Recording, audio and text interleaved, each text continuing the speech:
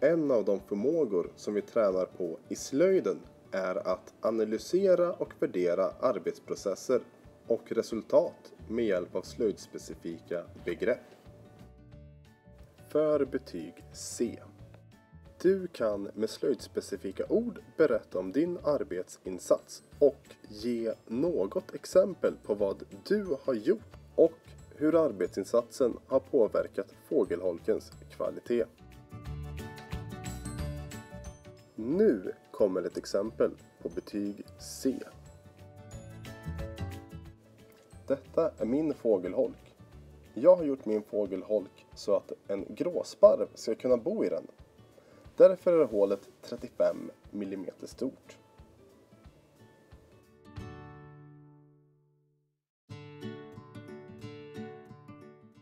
Jag tyckte att det var svårt att förstå hur jag skulle börja.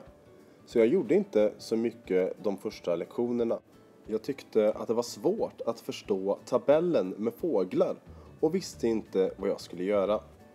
Men jag valde att kopiera en kompis som skulle göra samma sak så att jag kunde starta med min fågelholk. Jag tyckte att det var lätt att såga i såglådan efter att jag sett en kompis göra samma sak. Det var dock lite svårt att sätta fast tvingen så den fick jag hjälp med.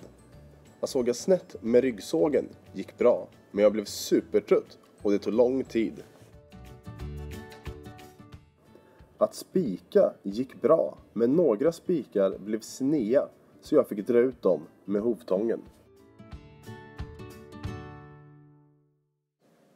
Jag gjorde så att man skulle kunna öppna fågelholken och göra rent den.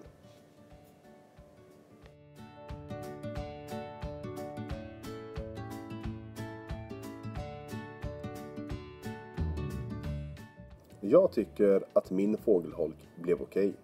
Jag arbetade inte så hårt, men det var för att jag tyckte att det var svårt. Hade jag ansträngt mig mer hade jag nog blivit nöjd med fågelholken.